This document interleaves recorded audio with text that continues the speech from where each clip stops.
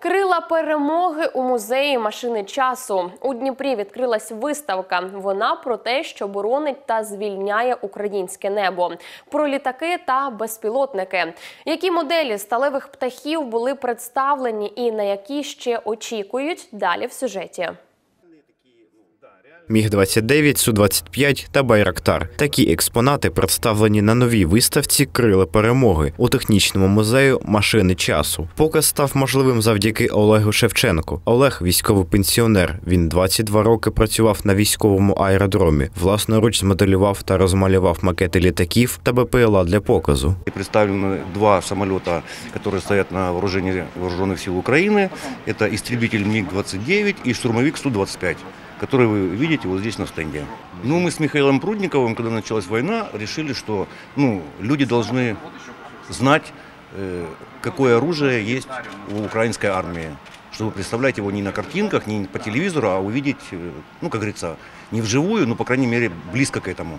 Винищувач Міг-29 – це та модель, якою керував привид Києва та збив 21 ворожий літак. Су-25 знаходиться на озброєнні України з 1991-го. Тоді країна отримала 92 одиниці Су-25 в різних модифікаціях внаслідок розпаду СРСР. Кабина летчика исполнена в виде,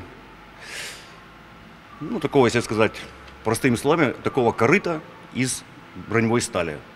Там находится летчик, все приборы, все важные узлы находятся там, в этом броневом корпусе. И также двигатели, они у нее разнесены по двум сторонам фюзеляжа, и между ними стоит противопожарная переборка, тоже из металла. То есть, если горит один двигатель, второй не загорается.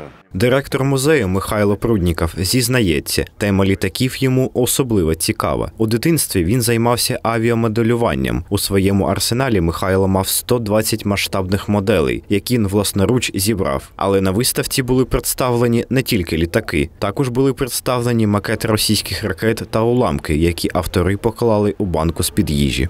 В баночках, которые вы видите, они специально так оформлены, то есть одна баночка из-под сметаны, другая горошек, другое яблочное повидло. В Баночке с яблочным повидлом жаропрочные сплавы, остатки этих российских ракет, э, в зеленом горошке осколки этих ракет. А в баночке из-под сметаны высокотехнологичные платы электронные.